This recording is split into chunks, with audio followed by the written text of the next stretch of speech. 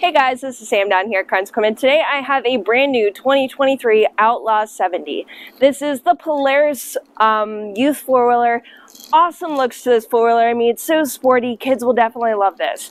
On the front here, you can see that there is a port. That is for your battery tender. Your battery is in the back, but it's super nice to put a battery tender on there. It does have a front bumper. Um, does have a rear rack as well, but on the screen here, you can see how much gas you have in your fuel tank with that little lever. It is electric start. Um, this one does not have reverse, but it does have a horn and your engine shut off and parking brakes.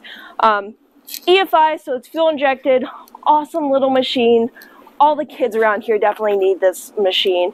So come down to Carns Equipment, check it out, talk to our sales team, and take this unit home today.